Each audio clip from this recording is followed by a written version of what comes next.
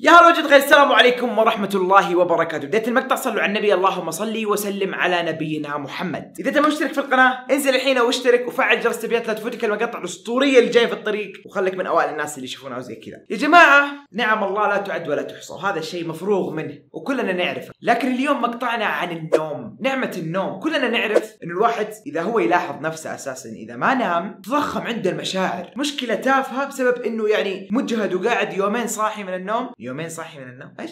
قاعد يومين صاحي يخلي المشكلة الصغيرة ذي كبيرة وممكن يجي اكتئاب وممكن يجي صح ولا لا؟ ليه؟ لأنه النوم يرتب كذا مخك يرتب أمورك يشحنك طاقة جديدة. فهي نعمة عظيمة جدا وأسأل الله أن ما نفقدها. والله يسخر لنا النوم هذا لأنه والله تعبت فيه كثير في رمضان اللي راح لكن لله حكمة. فتخيل أن النوم هذا يا جماعة الخير تفقده فجأة. تجي بتبغى تنام ما تقدر تنام. زي الأرق. تعرفون الأرق؟ أغلب الناس يمرون في الأرق وهو يعتبر حالة عادية وتافهة. ويعني مو تافهة منتشرة. ولكن هل عمرك تخيلت إنه ما يجيك نوم ابدا بالسنين؟ هذا هو مقطعنا لليوم. فخلونا ندخل اليوم مع أول شخص فقد القدرة على النوم يا جماعة الخير ونقول لكم قصته. قبل ما نبدأ في أول شخص عندنا فقد القدرة على النوم، أبغاكم تتذكرون أسماء الأشخاص. وتكتبون في الكومنتات نهاية الحلقة مين أكثر شخص حسيتوا إن قصته من جد غريبة. الشخص الأول اللي عندنا يا عزيزي اسمه مايكل كورك. كان مايكل مدرس في شيكاغو إنسان عايش حياته بشكل طبيعي جدا. كان ينام طول حياته. نوم زي الفل وزي الحلاوة. زي أي إنسان ثاني. فجأة مايكل أول ما صار عمره 40 سنة. وهذا شيء ما له علاقة يعني إنه أي واحد يصير 40 يصير زيه. لا بس أنا أقول لكم الأحداث الآن. لا أحد يوسوس بالله فكونا. وصل مايكل عمر ال 40 عام 1991 دخل ال 40 كذا قال السلام عليكم يا أيها ال 40 فجأة صار يواجه صعوبة قوية جدا في النوم. بدون أي آثار بدون أي حادثة صارت له بدون أي شيء. ومع الوقت كل ما هذا الشيء يصير أسوأ وأسوأ وأسوأ إلى أن أصبح ما يقدر ينام نهائيا. كأن عنده أرق دائم أرق تام. كانوا الأطباء في حيرة من أمرهم لما شافوا مايكل وما كانوا يعرفون إيش عنده. في الأخير شخصوه بمرض التصلب المتعدد. مع أن الأرق اللي عنده لا يعتبر من أعراض مرض التصلب العصبي المتعدد ولكن شخصوه بهذا الشيء. والتصلب المتعدد اللي ما يعرفه هو باختصار هو مرض من الممكن أن يعيق الدماغ ويعيق الجهاز العصبي المركزي. هذا باختصار. وطبعا له أمراض وأعراض ثانية كثير بس شخصوه بهذا الشيء. المصيبة وين؟ لما أعطوه حبوب منومة تساعده على النوم يكون جسمه relax يرتاح زادت الأمر سوءا وصار أخس يا جماعة الخير. للأسف بعد ستة أشهر من هذه الحالة اللي أصابته توفى مايكل وهو في المستشفى. ستة أشهر من الحرمان من النوم ونهايتها وفاة. نسأل الله السلامة يا جماعة.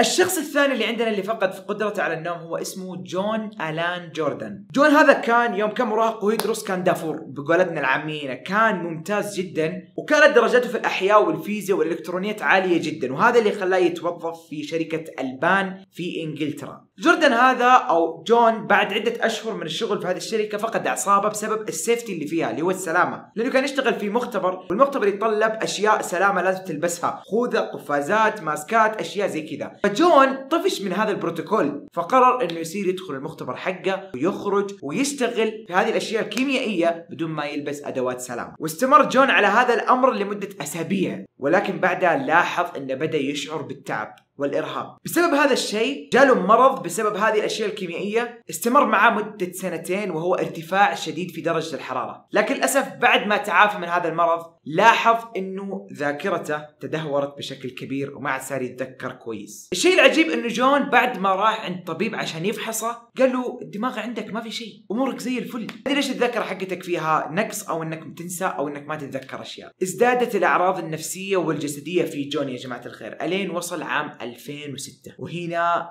موضوع الحلقة. في عام 2006 بعد الأشياء اللي صارت الجون هذه كلها فقد القدرة على النوم إطلاقا يا جماعة الخير. وكان يقول جون أنا توقفت عن النوم إطلاقا ما صرت أقدر أنام وإذا أبغى أرتاح أو أحس أني أنا مرهق ما أقدر أنام. ولكني ألجأ أني أروح أنسدح على كرسي أو على سرير وأقعد أتأمل وأقعد أفكر في أشياء بسيطة وتأملات باختصار يسمونه استرخاء أو تأمل. وهو لا يغني عن النوم نهائيا ولكن يقول هذا اللي كنت أسويه ولا أقدر أنام أبدا. ابدا في المقالة هذه جون وصل عمره 40 أنا ما أدري المقالة هذه كم لها سنة يعني كم عمره الآن بالضبط ما أعرف للأسف ولكن هو في المقالة ذي وصل عمره ال 40 وللأسف جاله زهايمر وزادت المشاكل في الذاكرة عنده. فهذه قصتنا الثانية لجون يا جماعة.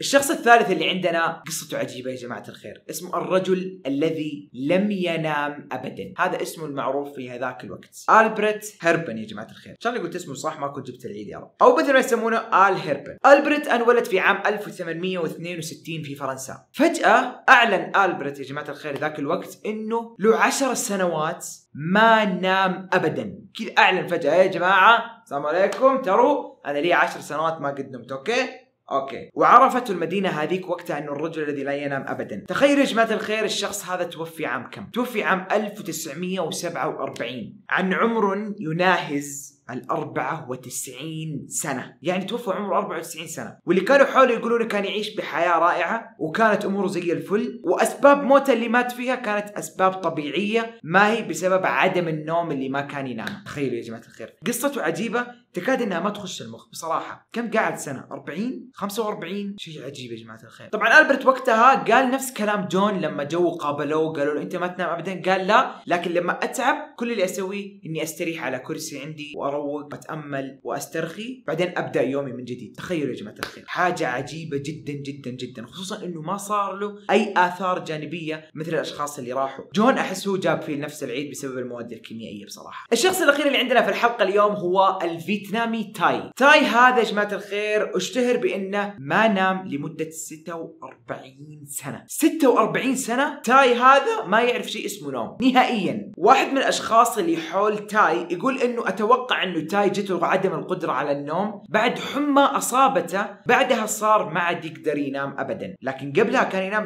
إنسان طبيعي جدا. والعجيب في الموضوع إنه بعد ما أخذوا تاي هذا وبعد ما فحصوه وشافوا إيش فيه ما كان يحمل أي أعراض مرضية. وكان سليم عقليا وجسديا وكانت أموره زي الفل. وفوق هذا كله شغلة تاي إنه يحمل كيسين من العلف الله يكرمكم بوزنها 50 كيلو ويمشي فيها مسافة 5 كيلو يوميا يا جماعة. يعني ما ينام وفوق هذا جهد عظيم جدا يسويه. ومع ذلك ما اكتشفوا فيه أي حاجة. لكن في عام 2006 تاي هذا طلع تصريح جديد ويقول أنا بديت أحس إني كأني مثل النبتة اللي بدون موية وهذا بسبب قلة النوم اللي أحصل عليها. وبس يا جماعة الخير هذه كانت حلقتنا لليوم أشخاص فقدوا القدرة على النوم. الأشخاص هذول أسمائهم موجودة والمعلومات اللي جبتها كلها من ويكيبيديا ومن مواقع أخرى. يعني شيء عجيب جدا وشيء مؤكد وأنا ما أدري صراحة كيف قدروا يعيشون حياتهم. يعني لو كان مثلا متزوج يشوف عياله كذا ينامون قدامه أطفاله ينامون هو شو يسوي وقتها؟ أحس فيها نوع من الوحدة الغريب جدا اللي تحس إنك ما أنت مثل هذول البشر الباقيين. حاجة عجيبة اسال الله إنه لا يبلانا. وإذا عندك أي مداخلة أو عندك اي حلوة مداخلة حسستني مكالمة يا يوسف. لو عندك أي مشاركة حاب تقولها في الموضوع اكتب لي تحت في ال commentات. لو في غلط أنا غلطته اكتب لي تحت في ال commentات وعدل لي. اتمنى مقطع اليوم عجبكم تحطون like تقولوا رأيكم على المقطع في ال commentات. كان معكم يوسف سبحانك الله وبحمدك أشهد أن لا اله الا انت السلام عليكم.